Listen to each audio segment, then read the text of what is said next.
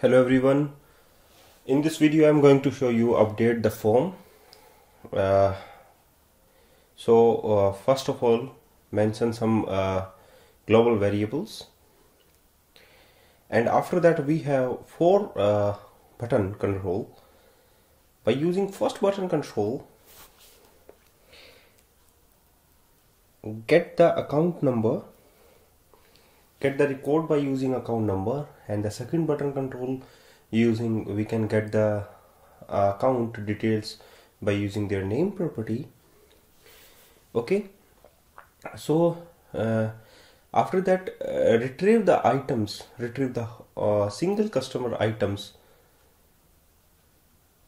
and load the data grid control. There is the right side in the right side when we click on the first button control by using their account number load the data grid control with using binding list. Okay? So new binding list uh, with the uh, user accounts I want to get the user account by using their account number. So uh, the main logic uh, which apply on the when we click on the cell items on the data grid view then uh, all items uh, from the uh, user account table loaded into the controls like the text boxes and the uh, date picker controls combo boxes etc so this button control is loaded to the data grid view control and the data grid view control when we click on the cell contents and the single cell uh, click event then all other controls like the text boxes are loaded. Okay? So you can watch it. The first button control that button control is only loaded data from a table to data grid. Okay? That is decimal account number. Pick the account number from the uh, account text boxes and load the data grid view dot data source. Okay just check it. And after that you can check it put some uh, account number that is the 10 digit account number and you successfully loaded your data grid view. And when we click on the data cell content then all other uh, control that is date of birth states address are loaded. Okay? And that item pick from the data grid view control.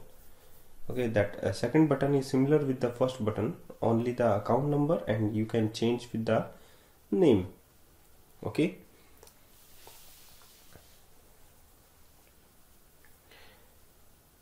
So uh, both functions are similar actually. So you can do also with the switch uh, switch statements because uh, here we have two button control but uh, yeah, both button control can uh, handle the same events um, like uh, loaded the grid view. So you can uh, check with the account text as well as the text of the text box control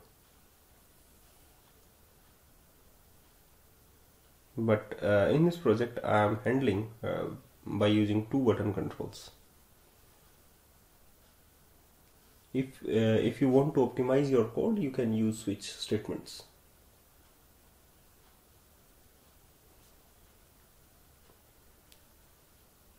Okay. When we click on the cell click event you can also handle the cell content click. Okay? Then other control are loaded.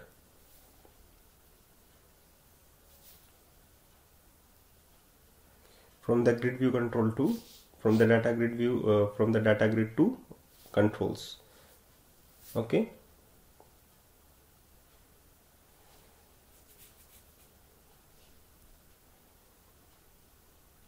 So here we have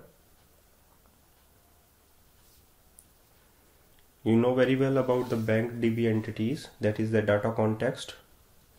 And the account number is passed from the data grid view row which is selected from the uh, data grid by the user. Data grid view1 dot row e dot row index dot cells of 0 that is the default cell 1 is checked. Okay uh, on when we click on the cell 1 that is the account number defaultly okay. Then account number is assigned. After account number is assigned you can get the items from the uh, database table. First using first or default I mean to say that that is the lambda expressions. DB entities with have user account table and using the where clause we can pass the account number that is getting from the data grid view control and uh, search the item from the database table. That first or default it means the first item search from the database tables getting from database table okay? And after that one by one uh, is loaded from the database table. You can say one by one uh, control is loaded from the database table like the name mother name father name phone number respect their text boxes and controls you can see.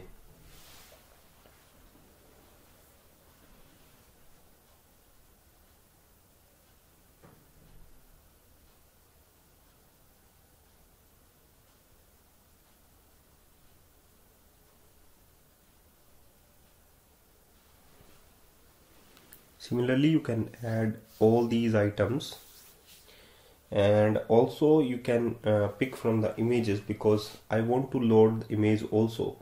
That is picked from the database table in the form of the binary. So you can use the byte array to store the images. So memory stream is also used to read the byte array. So picture box one dot image equals to image dot from stream. Okay ms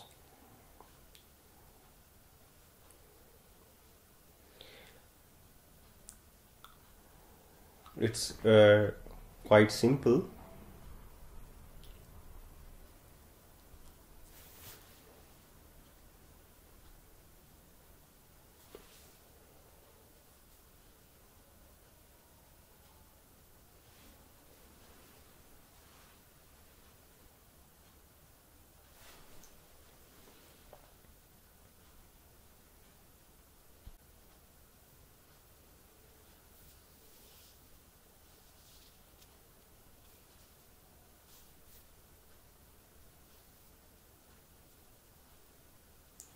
so uh, the all uh, other uh, radio buttons the totally radio buttons is calculated uh, manually like the item dot gender equals to male because the uh, you are getting items from the database table. So manually check which checkbox is checked uh, and previously checked. And you can say that the account holder identify the account holders genders marital status and respect their radio buttons is checked okay?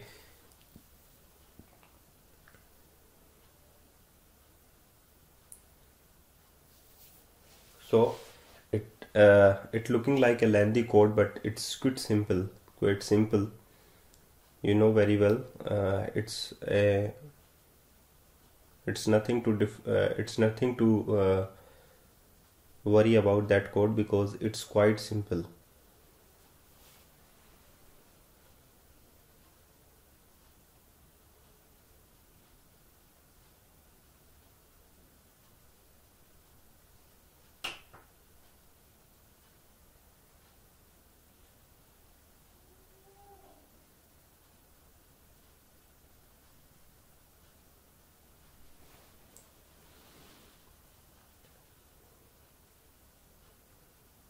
so one by one uh, radio button is checked.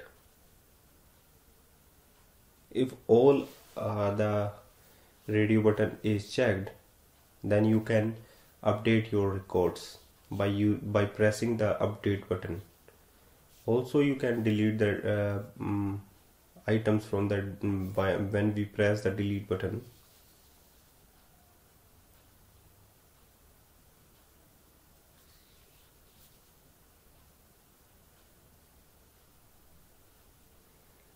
putting some number into the update form and check the details is successfully loaded into the other control. Yeah there is the other control is successfully loaded into your other uh, from the database table. And when we update uh, when we press uh, the update button the respective uh, update is changes in the database table. So first of all uh, you can check you must to check your uh, if you want to update the image of your uh, account holder then you do this. Or you can say that uh, how to save the image from uh,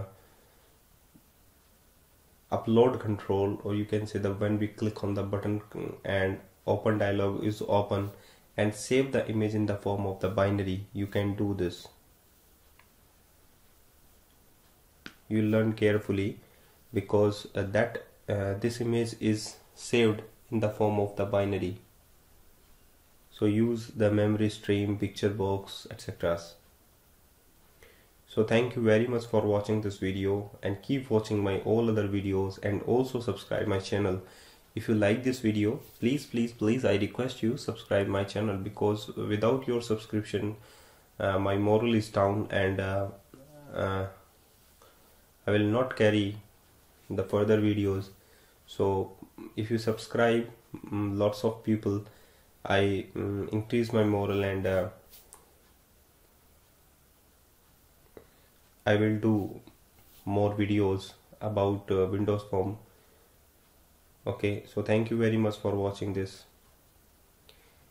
That code is uh, remove the entries from the data grid. So must to use the binding list if you want to remove your entries from the data grid. Because that collection is uh, that collection is uh, used to remove the items uh, use the re uh, removes to item from uh, data grid view as like a pro. Thank you very much for watching this video